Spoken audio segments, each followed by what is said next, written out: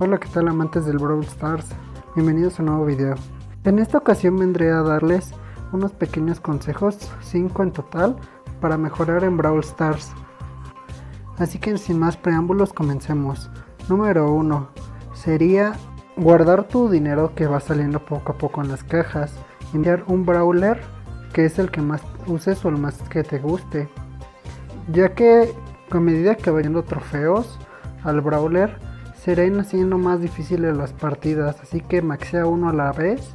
Trata de invertir todo tu oro en un brawler. Y solo ir subiendo de uno en uno.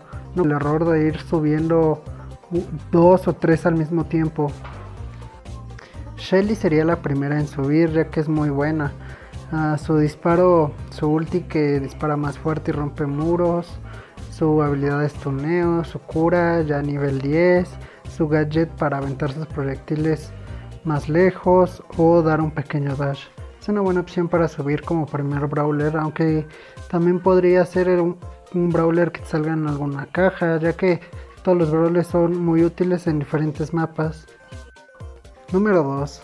El segundo consejo que les doy es que traten de guardar las cajas que se les van regalando a medida que van subiendo el camino de trofeos o también cuando las que dan del pase gratuito, ya que estas cajas cuando las economizas puedes subir a un mono casi casi al 100 y hay posibilidades de que mientras más abras te salgan brawlers nuevos cuando vas empezando.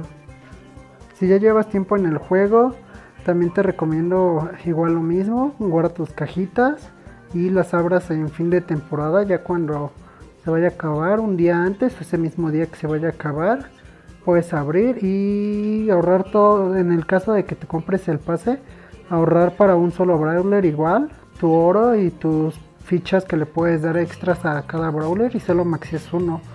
O a menos de que ya tengas a punto de subir a, a varios, pues invertirlas sabiamente.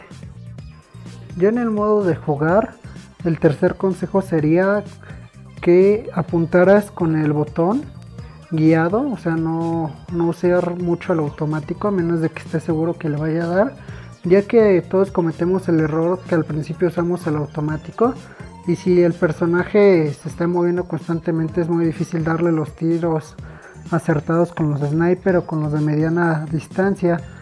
Ah, también con los lanzadores es muy muy difícil dar si no apuntas, como por ejemplo con este tic. Si solo lanzas todos tus proyectiles a un lugar, pues es muy fácil esquivarlos, rodearlos, esperar a que exploten. En ese tiempo pues ya perdiste una ulti valiosa para tu equipo. Entonces sería apuntar, siempre estar apuntando con todos los personajes. Bueno, hay excepciones como lo que puede ser el primo rosa, pero pues también esto luego si un brawler se acerca más a otro y está a punto de morir, el brawler siempre va a atacar al enemigo más cercano con el automático. Entonces es muy muy recomendable que usemos el disparo guiado. Siempre nos va a ser más útil que utilizar el automático. Podemos fallar claramente está igual que con el automático, pero pues ya puedes hacer predict de cuando se va a mover un personaje.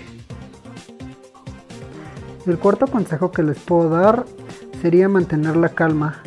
Ah, este juego es muy de mucha paciencia y también de mucha estrategia, por así decirlo. No solo es apretar el, el disparo y ya, sino hay que saber cuáles son las mecánicas, aprender a ocultarnos para evitar disparos, movernos de un lado a otro para confundir al enemigo, aprender a usar las coberturas para que no nos den es más fácil así no morir y tener seguro una partida.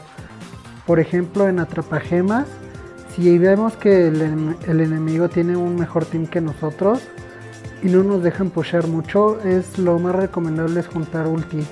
¿Para qué? Para que al momento del último push podamos ah, ahora sí que obtener la ventaja con todas las ulti reunidas y tratar de voltear la partida al final. Entonces no hay que desesperarnos si vemos que vamos perdiendo.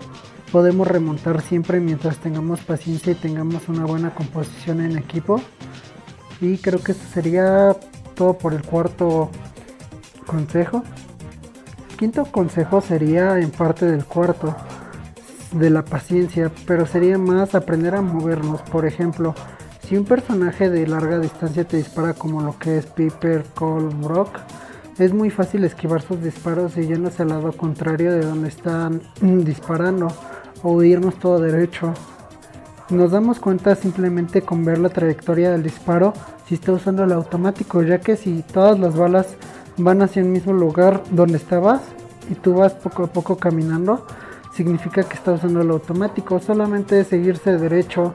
Ya si vemos que el, cohete va un poquito más hacia nosotros, podemos caminar hacia donde el lado contrario donde estábamos y así esquivaremos el proyectil.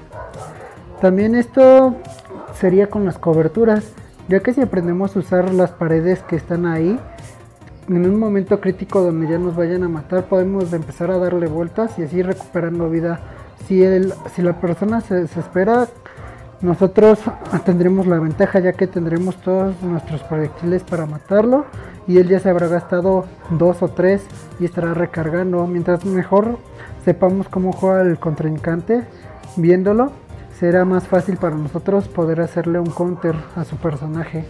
Ah, como dije, Cole, Brock ah, son fáciles de esquivar. Los lanzadores como Sprout, Dynamite, Tick son también muy fáciles de esquivar. Solamente tenemos que ver la trayectoria. También es muy importante aprender qué rango tiene cada personaje. Si es rango de francotirador, si es un, es un rango medio, cuánto puede aventar, no sé, mesetas sus disparos. Así podemos mantener la distancia segura y poder disparar y hacernos hacia atrás sin que nos afecte la bala enemiga. Un pequeña parte del escenario puede desbloquear mm, proyectiles, los arbustos no, pero las paredes, por ejemplo, los botes, los cactus, hay unos que son parte del escenario que no se puede romper tan fácilmente, sino con una habilidad especial de algún personaje. Ah, entonces son muy útiles para hacer cobertura, por ejemplo. Ahí estoy haciendo cobertura para que la Penny no me dé y también estoy toreando sus disparos. Al final logro matarla porque tengo mayor rango y más daño que ella. Y pues sería creo esto todo por parte del video. Espero que les haya gustado mucho. Trataré de subir otros 5 consejos de cómo mejorar eh, en general en el juego. Estos consejos para empezar son muy útiles. Mm, ah, porque hablo un poquito sobre las mecánicas del juego. Espero que les haya gustado mucho. Espero verlos en un pronto video. Si el video te gustó, dale like, suscríbete y comparte para hacer más grande esta comunidad. Gracias por ver.